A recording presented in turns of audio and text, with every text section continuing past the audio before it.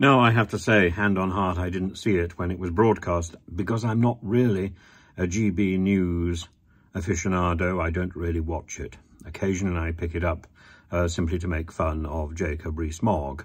And I'm surprised, actually, he seems to be the best thing on there. But there was an interview conducted by Esther McVey and Philip Davies, who are married, with the Chancellor, uh, Jeremy Hunt. I had to pause for a moment there and try and remember what the name of the Chancellor actually was. Um, many people have had that problem. The Chancellor, Jeremy Hunt, who has given spoonerism an entirely new lease of life. And so he gave a budget on the 11th of March, the spring budget, and Esther McVey, a sitting MP, a sitting Conservative MP, and her husband interviewed him. Now, that interview was then used by the Chancellor of the Exchequer on social media to promote the ideas in the budget.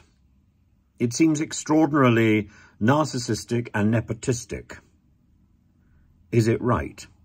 I think probably not. John Nicholson has put out a tweet. How come Tory MPs are interviewing the Tory Chancellor on GB News? Ofcom rules are clear. MPs may not present the news or conduct political interviews. I challenged the Ofcom boss today in the Culture Select Committee. Are you satisfied with the answer? Well, I did see that, and it did seem extraordinary. Uh, the Ofcom boss is a lady called Melanie Dawes, and she looked um, she looked completely surprised at um, John Nicholson's question and uh, didn't seem to have done her homework at all, doesn't seem to really know very much about GB News. Well, GB News is a lame British attempt um, to imitate Fox News. It's gone very right-wing very quickly. It was set up by... Oh, who was it set up by? Anyway, whoever it was set up um, uh, uh, stayed with it for a very short space of time. Andrew Neil and then ran off. Um, probably he was he was embarrassed. It was a sort of Frankenstein moment. He was embarrassed that he'd created a monster. Um, and Andrew Neil was so scrupulous when he was on the BBC to make sure that he looked objective.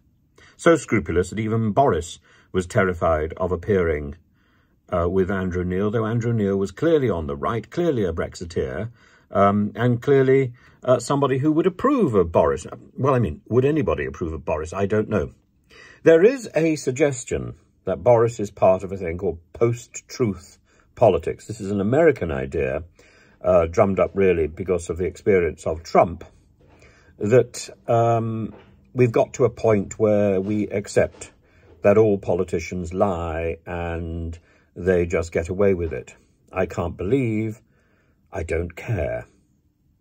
Um, Boris does seem to have a great deal in common with um, President Trump, but I think one has to go back and one has to realise that despite the fact that Boris seems to be a new breed of deceiver in Parliament, there have been others before.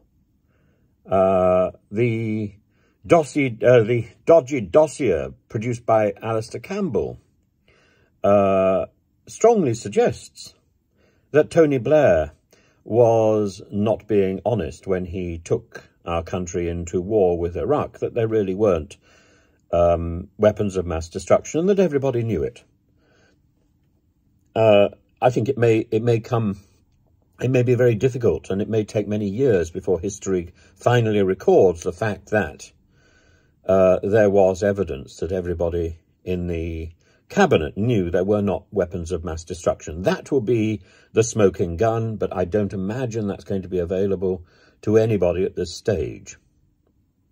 But the idea that we can be peddling disinformation, the idea that we can be peddling fake news, the idea that politicians can be lying to our face, when at some point in, a, in an emergency they've got to stand up as they did during COVID and they've got to tell us to believe them. Why are we surprised by the huge burst in people who deny the vaccine, who deny the existence of COVID? Why should they believe, why should they trust politicians who they know have been lying to them? Why should uh, people believe um, politicians when they tell them that Brexit is good or bad for them.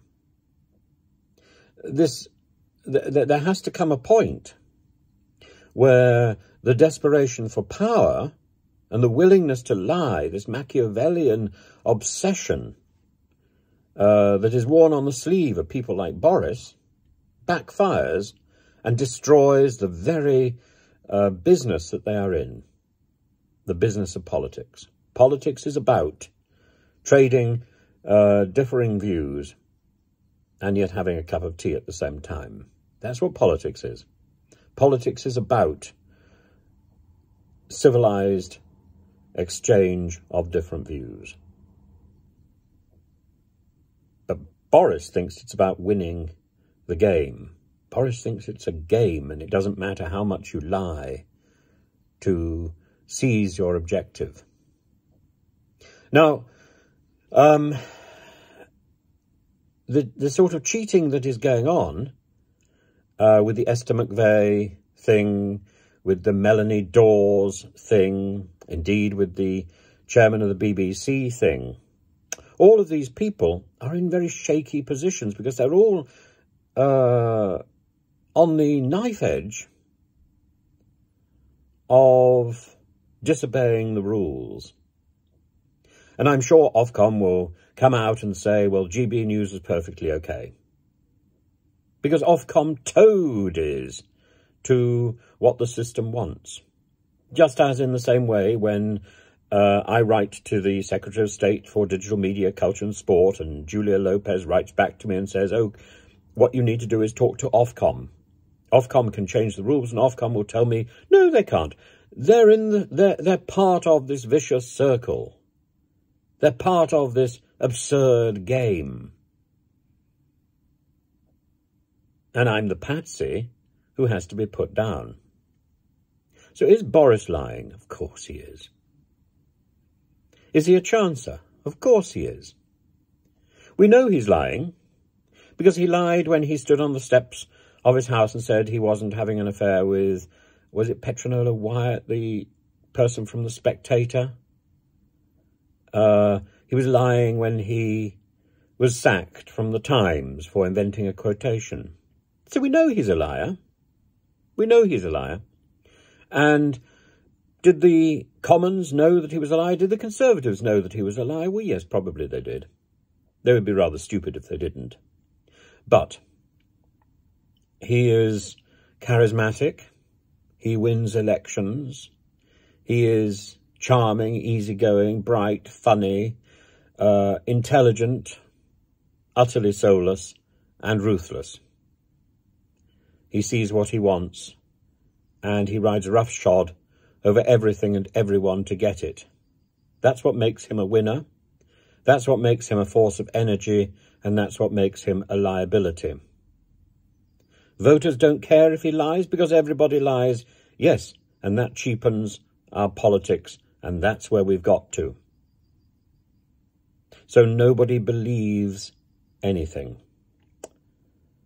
We're in a sad, sorry state if that is how it's going to remain. We have to clean up our politics. It's not a matter of getting rid of Boris. It's a matter of cleaning up the entire business. It's a matter of cleaning the ship. And for that, we don't want to be left with the bland and the boring. We want the character, we want the charm, we want the energy, but we want to trust as well. I fear, I fear the rot set in during Brexit, but I fear the example of what was going on in America was too much to resist. And at the moment, we need to look to try and find some sort of beacon of hope and stability. I don't know whether that is Keir Starmer, I don't know whether that is Rishi Sunak, but we can't wait. Um, we can't wait for Keir Starmer um, for two years in the hope that it will then get better after that. That will be too late. We need to invest our hope in Rishi Sunak. because he is the only hope available.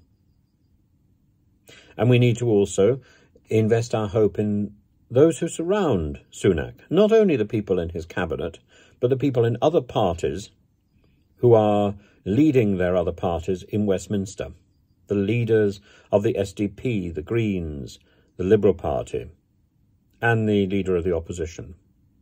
If these people can be seen as beacons of truth and honesty and uprightness, if we can start to trust them, then maybe we can turn the tide on this post-truth politics.